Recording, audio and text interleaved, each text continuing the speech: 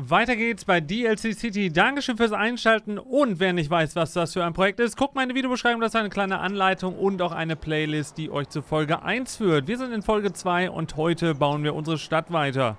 Deswegen bewertet den Part und viel Spaß. So sieht's aus, wir haben genau 1500 Einwohner, wie es auch auf der letzten Folge zu sehen war und heute bauen wir fleißig weiter. Ähm, ich hatte gesehen, dass äh, sich auch viele gewünscht haben, dass ich dieses neue Mini-DLC mit den Bridges, also mit den, ähm, ja, mit den Brücken, einfach auch ähm, für, also für die ganze Map hier benutze. Da müsste ich nur die Autobahnbrücken nachher austauschen, weil das ist ja was, was man jetzt nicht unbedingt stadtteilspezifisch irgendwie bauen könnte, sondern da muss man dann wirklich hergehen und das Ganze dann, ähm, wie, wie heißt es?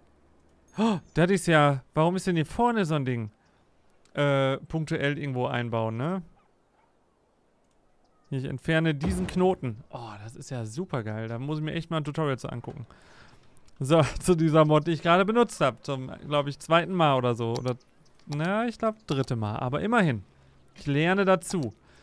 So, wir machen jetzt mal hier fleißig die Straße weiter, weil das wird auch eine unserer Hauptstraßen werden. Ich habe aber noch gar keinen Plan, in welche Richtung wir hier noch gehen werden. Aber ihr seht schon, das Ganze wird sehr griddelig. Bester Satz überhaupt. Also gridlastig, klar, so baue ich halt immer. Das ist auch so mein Ding. Natürlich wird es auch Stadtteile geben, die halt jetzt ähm, organisch und schön rund sind. Aber das ist halt erstmal nicht der Fall. So. Äh, ich glaube, ich lasse das hier einfach durchziehen, oder? Bis hier. Ich gucke gerade, dass wir nicht zu viele Kreuzungen an der Stelle haben. Und dann mache ich mal ganz kurz den hier. Und ich hoffe, dass das auch hier parallel dazu läuft. Ich glaube aber schon, ne? 64. Oh, ein Stack Schiene, äh, Straße. 64 passt. oh Mann, ey. Genau, 90 Grad. Wobei, da würde ich, glaube ich, echt auch den Abstand einhalten. Der nächste wäre dann, glaube ich, hier. So, dass wir auch den perfekten Abstand haben. Da drin wird natürlich sich noch einiges ändern. Wir werden wahrscheinlich auch noch einen gewissen Teil irgendwo rund machen. Aber ich glaube, wenn das hier so parallel zur Autobahn alles so ein bisschen ist und die anderen Stadtteile wiederum eine andere Richtung einschlagen so ein bisschen, ist das, glaube ich, ganz cool von der Optik her. So, wir fangen aber jetzt direkt an so zu bauen, als wenn das quasi ja, ja, das ist jetzt dumm, als wenn es quasi final so bleibt. also es auch bleiben soll. Ich meine, klar, wenn wir nachher irgendwelche Stadtteile noch umbauen, aber im Großen und Ganzen soll es ja so bleiben, wie wir jetzt bauen, ne? Einfach alles voll, Alter. Gute Frage, ob ich jetzt hier auch noch... Geht's hier hoch? Oh, da geht's ja einen Berg hoch. Bah.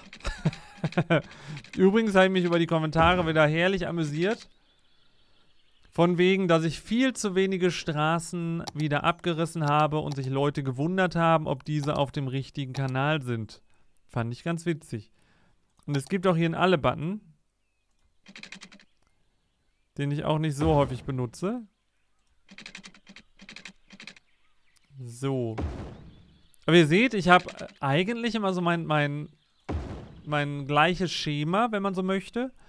Aber ich glaube, das Gesamtbild, darauf kommt es nachher an. Und auch schon mal ordentlich Wege und Straßen vorplanen. Also jetzt gerade auch die Wege. Ich stelle mir vor, dass dieser Weg hier, hier drunter geht, da hinten wieder rauskommt und dass dann in dem anderen Stadtteilbereich der Weg dann auch vorhanden ist, weil an sich... Warte, ich mach nochmal hier so. Was ist das denn? Das geht ja mal gar nicht, du. Das muss ich nochmal ganz kurz wegmachen. Da, wenn das so einhakt, ist das nichts, ne? So ist besser. Muss ich einmal ganz kurz gucken. Ich würde gerne diese Spitze erreichen. Die wäre dann ja so bei, bei 8 Uhr. Vielleicht hätte ich messen sollen. Aber ich glaube, ja, das geht. Und jetzt nehmen wir hier wieder den. Klick. Dass wir da 90 Grad haben. Und so haben wir den ganzen Weg schon fertig an der Stelle. Oh, geil. So, hier vorne wird wahrscheinlich mega krasser Verkehr sein, außer wir werden noch zwischendurch ein paar Abfahrten mit einbauen, was wir auch machen werden auf jeden Fall. Deswegen gehe ich mal davon aus, dass das hier passt. Also, Gewerbegebiete go. Weil die sind gerade... Also da ist gerade die Nachfrage sehr hoch. Hier würde ich mir nachher noch ein paar Büros wünschen. Hier vielleicht ein Monument oder so. Oder ein einzigartiges Gebäude. Ich sehe gerade, wir haben ein bisschen wenig Geld. Ich muss das schneller machen, ne? Was ist denn hier los, Alter? Und wir haben noch gar keine Parks und Plätze. Wo sind denn meine Hüpfburgen hin, meiner Fresse, ey? Warte. Alter, die, die guten Hüpfburgen. Ah, da fehlt echt an Wasser. Warte, jetzt eins nach dem anderen. Ich mache den hier vorne hin, das entlastet die Kreuzung schon mal ein bisschen. Und zwar genau dahin. Ist natürlich nicht das beste Ding. Aber ist okay. Und hier ist wieder das Beispiel, ne? Wie, sie haben kein Wasser. Ich zieh mal mit ein. Und manche sagen auch, dass die Länge geändert wurde. Also, da frage ich mich auch. Pass auf. Ich zeige das in der Folge dass der Wert, der Preis, die Baukosten bei 460 liegen. Bau das hin. Und dann habe ich Kommentare mit, das wurde aber geändert, weil das ist jetzt bei mir teurer geworden, so. Wo ich mir denke, nee, ihr benutzt die Heizrohre mit. Also glaubt mir wirklich. Oder auch ein Trick. Ich muss dazu sagen, YouTube macht gerade nicht die beste Arbeit, was Videobeschreibungen und so angeht. Oh, Alter, wir sind ja maximal am Limit jetzt, ne? Weil dieses mehr Anzeigen in der Videobeschreibung rückt irgendwie immer mehr an den Rand. Was irgendwie schlecht ist. Weil wenn ich dann sage, guckt in die Videobeschreibung, die Menschen, die die Videobeschreibung benutzen und äh, sich darin zurechtfinden müssen, die nicht direkt sehen. Und ich glaube, auf diesem Kanal ist das auch mittlerweile schon so. Also das ist nicht direkt bei allen Kanälen, sondern die rollen neue Features immer so bei manchen Kanälen aus. Und andersrum müssen viele Kanäle dann super lange darauf warten, dass diese solche Features bekommen. Ich weiß gar nicht, wie es hier ist, aber mein Debitor-Kanal, da ähm, ist dieses Mehranzeigen so krass versteckt, muss ich ehrlich sagen. Also ist schon mehr oder weniger eine, eine Frechheit, wenn man so möchte. Weil dann kann man auch eigentlich gar nichts anzeigen lassen. Das würde, glaube ich, mehr bringen.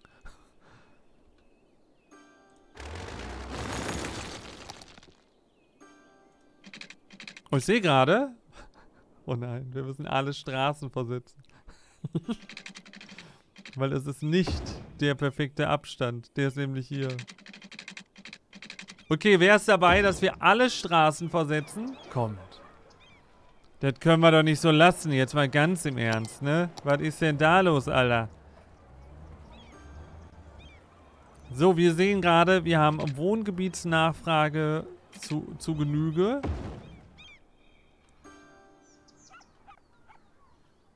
Und die müssen wir auch gleich mal nachkommen. Ich sehe gerade, dass wir hier... Haben wir eigentlich U-Bahn unseren Kram? Ich glaube, U-Bahn haben wir noch gar nicht, ne? Wir haben noch gar keine Transportmittel. Ja, gut. die die gibt es ja auch erst noch nicht so lange, die Stadt jetzt, ne? Wollen wir nicht übertreiben, Leute. Ach, komm. Als ob er damit nicht gerechnet hättet. Warte. Ne, ich lass weiterlaufen. Ich lass weiterlaufen. Ich darf nur nicht alle gleichzeitig machen, weil dann habe ich das Problem, dass wir keine Einwohner mehr haben. Das wäre... Alter, was mache ich denn hier? Ich will doch hier nur, nur so, so einen Knopf machen in der geraden Straße jetzt.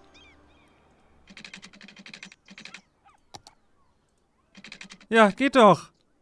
Alter, was ist denn da los, du? Das ist alles gut? Alter, da ziehen die auch direkt wieder ein. Aber klar, bei der Nachfrage, ne?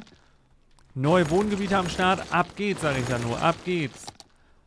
So, wo sind wir denn hier? Hier haben wir Gewerbe. Gewerbe bis zu dem Übergang. Obwohl das hier so ein bisschen blöd aussieht, aber könnte funktionieren. Den hinteren Button mache ich weg, damit hier kein langes, dünnes Gebäude entsteht, sondern so ein, so ein 2x6er. Keine Ahnung, ob da was bringt. Fände ich gut. Hier machen wir jetzt normale Häuschen hin. Perfekt. Genau wie hier vorne. Normale Häuschen am Start. Warum ist das denn hier abgeschnitten?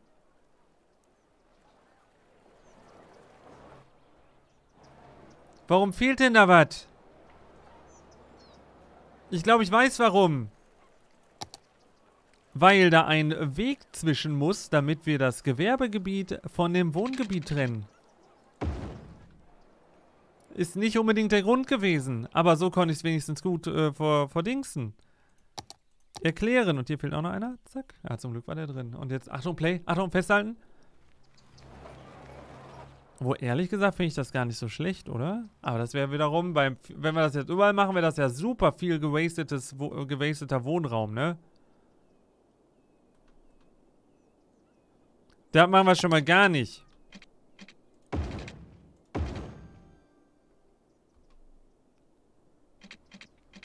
Dann müssen wir hier nachher so ein paar Notes entfernen. Ich weiß gar nicht, warum man die Notes entfernt dann. Vielleicht sparen wir auch einfach ganz viel und reißen alles auf einmal weg. Aber ich glaube, ihr wisst, wo wir hinwollen, ne? Nämlich in so einem Bereich.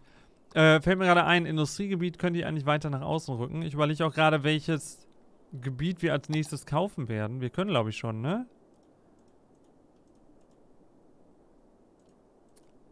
Schwierig, schwierig, schwierig. Also ich glaube, Hintergrund dessen, dass wir hier sowieso die Ecke noch vollbauen wollen mit der normalen Stadt, lohnt sich das, glaube ich, jetzt gerade mehr als hier, wo Green Cities nachher hinkommt. Ah, komm. Passt. Dann können wir hier nämlich schon mal weiter ausbauen. Das ist nämlich auch ganz cool. Da müssen wir eh dann auch eine dickere Straße hinmachen. Hm, die Mülldeponie sollten wir auch mal versetzen.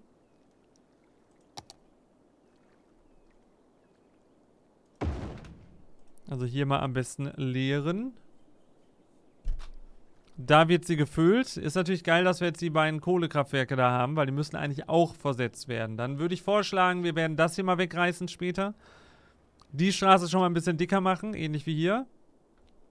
Und ja, hier müssen nachher, glaube ich, auch eine Abfahren in fürs Industriegebiet, weil das Industriegebiet hätte ich gerne bis hier vorne an der Kante.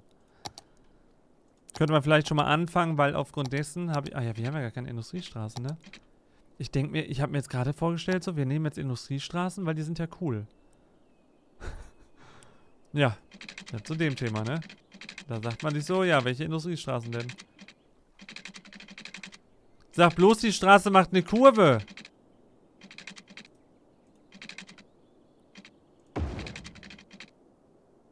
Ne, so geht's. Vielleicht war ich auch zu nah dran. Ah, ne. Ich glaube, weil das ein bisschen abfällt, das Gelände. Fällt das echt so weit ab? Nein. Fällt gar nicht ab. Ich glaube, das war eine optische Täuschung. Und wenn die Stadt nicht geil aussieht, jetzt kommt's, dann ist es eine optische Enttäuschung. Boah, der war krass, oder? So, und ich bin auch hergegangen. Ich glaube, die Ursprungsmap hat die ähm, Straßen bzw. die Autobahn meistens auf dem Boden. Ich bin hergegangen und habe die nach oben gesetzt, damit wir hier so einmachen können. Gerade in dem Innenstadtbereich finde ich das super cool. Hier befindet sich dann übrigens auch ein anderer Stadtteil.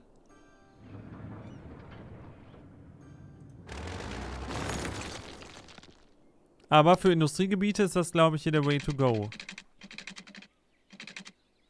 Also ihr seht auch, wir planen gerade relativ viel schon vor, ohne großartig zu ballern. Aber seid unbesorgt, es wird noch genügend geballert. Und wir brauchen halt viele Industriegebiete, nur nicht so viele, aber nicht so große was, glaube ich.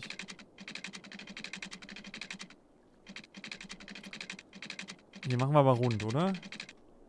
Also, was heißt rund?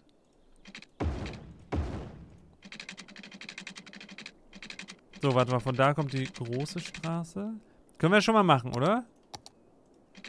Oh, geht sogar. Ich hätte nicht gedacht, dass man die schon einbauen kann. Oh, WTF, die war ein bisschen zu groß. Dankeschön für den Preis. Vielen Dank für die Blumen.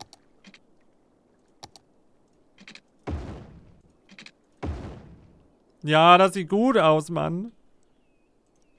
Oh, das passt jetzt aber wirklich perfekt, ne? Als ob ich das vorhergesehen hätte.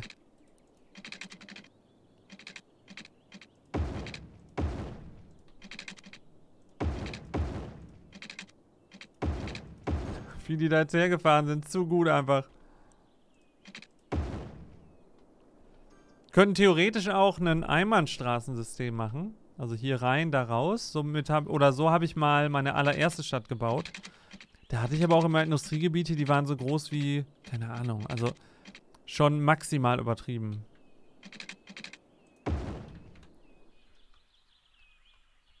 Ja, geht sogar noch einigermaßen.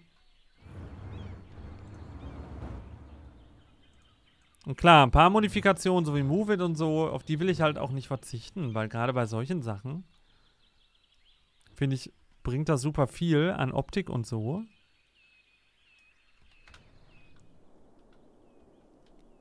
Deswegen, da werden wir auf jeden Fall solche Modifikationen immer noch weiter benutzen. So, Wasser.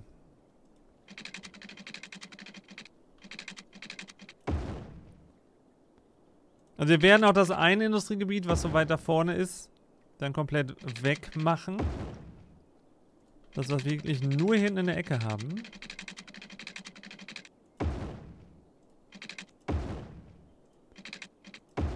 Ist nur jetzt blöd, glaube ich, mit den Abfahrt. Obwohl, eine Abfahrt kriegen wir noch hin. Hier runter, da drauf und hoch können wir dann auch in irgendeine Richtung gehen. Da fahren ja hoffentlich dann nur die ab, die zur Industrie wollen und nicht alle anderen. Das werden wir dann aber erst sehen, wenn die... Ach, obwohl, da fahren auch alle anderen ab. Außer wir sagen bei der Straße, bitte nur Industrie. Dann fährt nur Industrie ab. Aber das passiert eher selten, muss ich sagen. So, das ist schon mal gut. Das hat jetzt Wasser und Strom. Äh, Strom zumindest hier. Da muss ich die ganzen Wohngebiete noch, äh, Wohngebiete. Wohngebiete noch versetzen. Und ich glaube, wir machen hier eine Straße, die 10 hoch ist.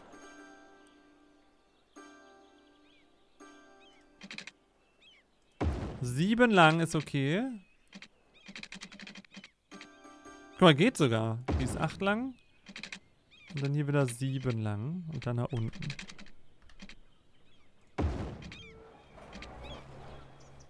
Jo. Also da gehe ich von aus, dass da nicht zu viele Autos drüber fahren werden. Aber zumindest, wenn die Industrie ihre Sachen zu den Gewerbegebieten erfahren wollen, dann auf jeden Fall schon. Ansonsten wird die Straße wahrscheinlich nicht so häufig befahren werden. Und was natürlich noch auch gut ist, wäre, wenn da halt äh, die Fußgänger drüber gehen könnten.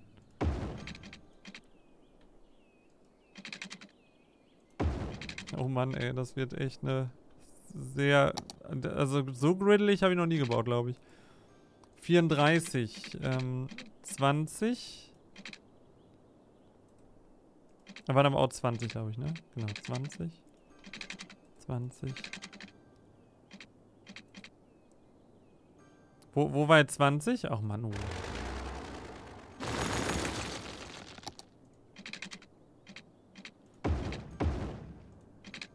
Und das sind nur 14. Okay. Na, guck mal, da fahren aber schon Autos drüber. Das ist gut.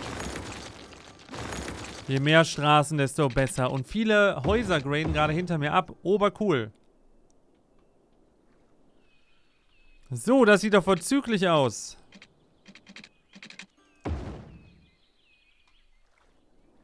Oh ja, und ich werde jetzt hier mal die Bäume entfernen. Denke mir immer so, ja, das ist gut, damit das performanter läuft, aber ich glaube, das ist es nicht, ne? ich glaube, das ist es nicht. Können ja nachher neue Bäume draufpinseln.